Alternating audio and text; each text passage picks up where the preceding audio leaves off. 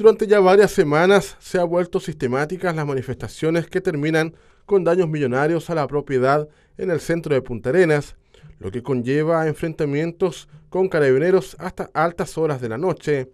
No es ajeno para nadie los últimos acontecimientos del viernes pasado, que terminaron con varios locales comerciales del centro de la ciudad dañados, inclusive el mismo santuario María Auxiliadora y un servicio público. En ese sentido, el general de Carabineros advirtió que los responsables enfrentarán los procesos correspondientes ante la justicia. El Ministerio Público está trabajando intensamente en esto con la ayuda de la policía. Eh, naturalmente todas las investigaciones y los y las situaciones procesales también tienen sus tiempos.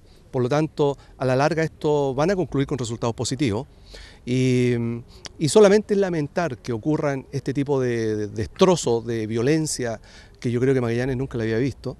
Explicó el general que no hay problema con las marchas pacíficas, el problema son los grupos. Él asegura que causan daños importantes y que solo afectan a las personas a sus lugares de trabajo, colocando en riesgo la fuente laboral de los chilenos. Todos queremos paz, todos queremos tranquilidad. Eh, todos queremos que si la gente quiere manifestarse, que se manifieste, sin eso no hay problema. Las marchas pacíficas no causan ningún inconveniente, pero el problema son estos pequeños grupos que causan daño a sus propios vecinos. Eso, la verdad, a nosotros nos obliga a actuar, lo vamos a seguir haciendo.